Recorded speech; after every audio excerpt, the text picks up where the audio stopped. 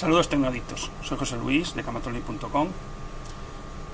Recientemente hemos comprado un, un mando chino, estos que venden en las tiendas tipo eBay, AliExpress y, y GoGo y demás, que es un mando que sirve para clonar frecuencias de mandos a garaje y, y cualquier tipo de mando a distancia que no sea rolling code, o sea, que no sea de código cambiante.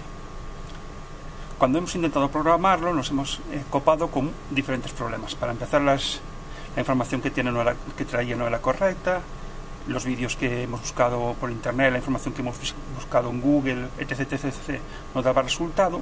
Y ahora que hemos conseguido aprender a programarlo, queremos compartir con vosotros esa, esa información, porque si bien creo que estos mandos son exactamente iguales de, de, que otros mandos que, que tienen un periodo de tiempo más grande, es decir, hemos vi, visto vídeos publicados que tenían dos, tres años de, de antigüedad y que el mando era exactamente igual, pero la programación no era. Por eso pensamos que han cambiado la programación más o menos recientemente y no se programan de la misma forma que se programaban aquellos.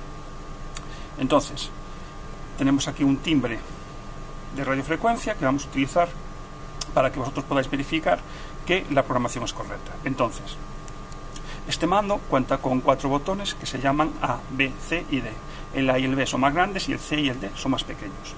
Bien, para entrar en el modo de programación hay que pulsar los dos botones simultáneos, el A y el B, hasta que parpadea el LED. Una vez, perdón, una vez que, vemos que el LED parpadea, el mando está en modo programación. Ahora viene lo importante.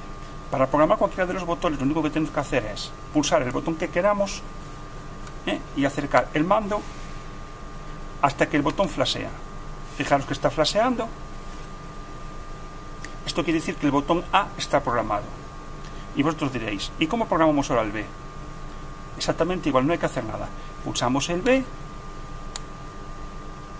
acercamos el mando que queremos clonar y cuando flasea está clonado. Fijaros, ahora tenemos el A programado y el B programado. El C no está programado y el D. ¿Por qué sabemos que no está programado? Porque cuando lo pulsamos solo hace un flash pequeño y deja de lucir el LED. Y el D igual. En cambio el A, ves que cuando lo pulsa, flashea. Y el B, ves que cuando se pulsa, flashea. Una, una, un detalle importante que no hemos visto que nadie dijera. Después de que has programado el botón A y el B, puedes programar el C y el D cuando quieras, porque están sin programación. Si nosotros ahora pulsamos nuevamente el A y acercamos el mando, no se reprograma. El B no se reprograma. En cambio, si pulsamos el C y acercamos el mando, veis que ha quedado programado. Entonces, una vez que tú has borrado los botones pulsando los dos A y B al mismo tiempo que entres en modo programación, anulas todos los botones que tienes programados. Y a partir de ahí empieza una nueva programación de los botones.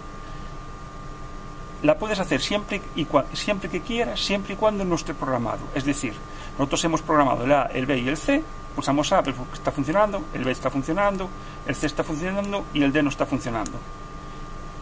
Si queremos volver a programar el D con, cualquier cosa, cuando queramos, damos a B y queda programado. Entonces tenemos cuatro botones programados. ¿Que queremos volver a reprogramarlos? Tendríamos que pulsar A y B simultáneamente hasta que flasee el LED. Ahora flaseó. Ahora hemos borrado los cuatro botones, con lo cual si volvemos a mirar, veis que solo flasea un poquitín, o sea, se han borrado los, la programación de los cuatro botones. Ahora vamos a volver a programarla. El A, acercamos, ya está programada, soltamos. Vamos a verificar que el timbre funciona. Entonces, le damos tensión, mando original, y vemos que el mando funciona correctamente. Vamos a usar el clon.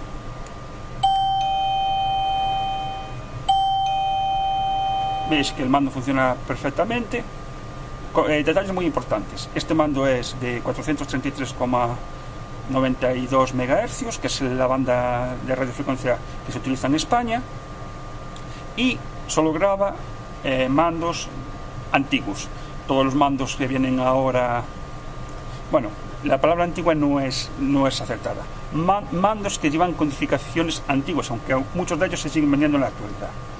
Si tú necesitas, si tú tienes un mando de última generación, entre comillas última generación, porque también ya hace años que, circulan pues, como con el mundillo de la radiofrecuencia, tipos eh, me, mandos de código cambiando, cambiante, perdón, tipo rolling code y demás, ese tipo de, de, de mandos, que el código cambia cada vez que se ejecuta el botón o que se pulsa el botón, eh, ese tipo de mandos no los va, no los va a clonar este, este clon de, o este clonador de, de radiofrecuencia. Por lo demás, si tú tienes un mando de los, que, de los, de los modelos antiguos que tenían switch y estas cosas para tal, este mando por 2 euros lo puedes, lo, lo, puedes utilizar para clonar los mandos sin ningún problema. Espero que este vídeo os haya sido de ayuda. Si habéis aprendido algo con este vídeo, espero que le, habéis, le deis un, un like, un manito arriba para ayudarnos a que la comunidad siga creciendo. Un saludo y hasta el siguiente vídeo.